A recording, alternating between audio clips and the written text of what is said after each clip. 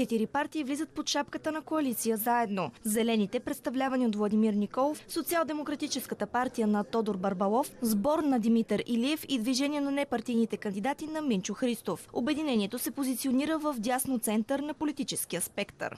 Темите, около които ще работим, са теми на цялото ни общество и теми, които вече две години като че ги поставяме, но решение все още няма. На първо място това е обедняването и финансовият растеж. Ние залагаме на съдържанието, а не на лъскавата опаковка.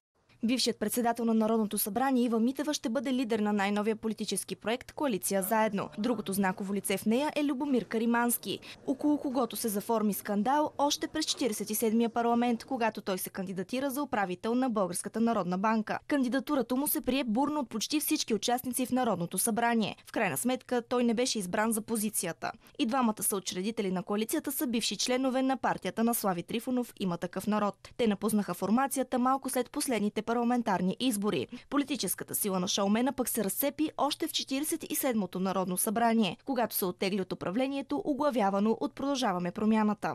Когато принципите се разминават в един момент, трябва да си стиснем ръката, ръцете и да кажем до тук бяхме.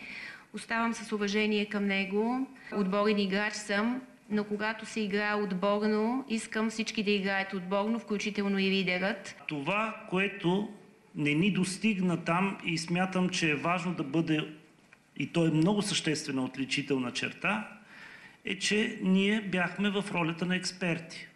Ние не взимахме политическите решения. Новата формация ще разчита на доверието на хората и е с амбицията да получи най-малко двойна подкрепа от необходимата за влизане в Народното събрание. От коалицията заявиха, че не чертаят червени линии и биха преговаряли за управление в следващ парламент с Продължаваме промяната и Демократична България.